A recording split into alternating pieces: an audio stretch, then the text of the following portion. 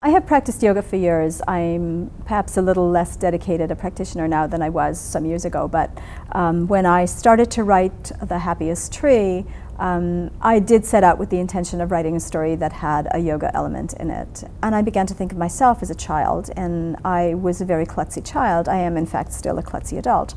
Um, but I think, and I didn't take yoga as a child, but I think if I had, it might actually have helped me to be a little more grounded than I was, or maybe it wouldn't have, who knows. Um, but uh, there was Meena, and she has a little bit of me in her, and she has a little bit of other kids I know in her.